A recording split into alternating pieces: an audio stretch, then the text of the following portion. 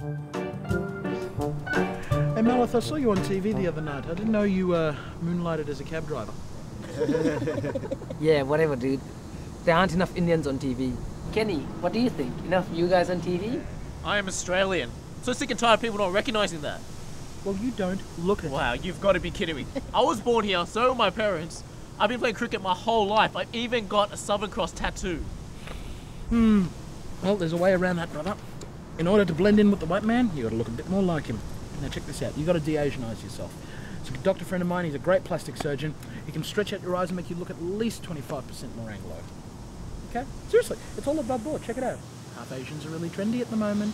Huh? 啊，对不起，我迷路了，我需要去图书馆，你知道在哪里吗？ Um, I do not speak Chinese. 向左转，直走， 然后你就会赶到图书馆。谢谢。 What? Black man can't speak Chinese? Cheers. Can't believe people give you money. I'd do anything to get a job. You told a young blonde girl that you were going to punch her.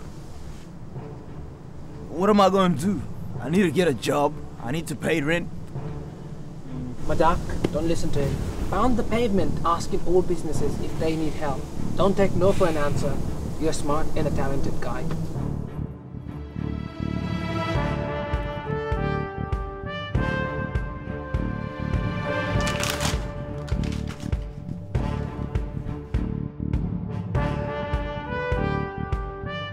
Hey man, take whatever you want, just don't hurt anyone.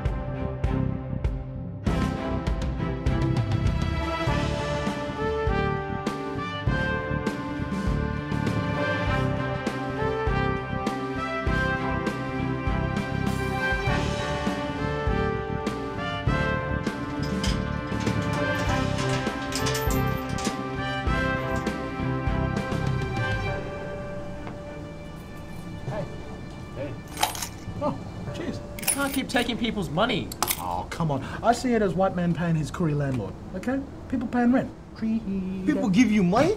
Yeah. I'd do anything for a job. Well, if you want a white man's job, brother, you got to tailor to the white man, okay? I mean, your name's a bit African, isn't it? Yeah. My Doom Gok.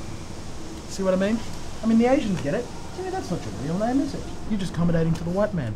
No, my bloody name is Kenny. I'm sure it is. Look, what I'm saying is, I've got a drug dealer friend.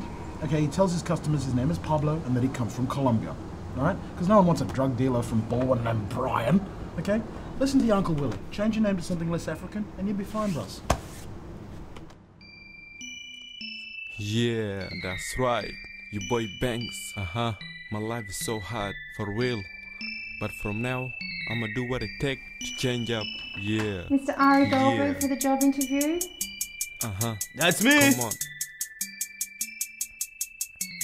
My life is hard to leave.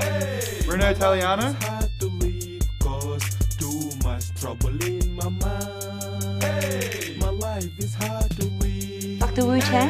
My life is hard to live and I never ever have a good time.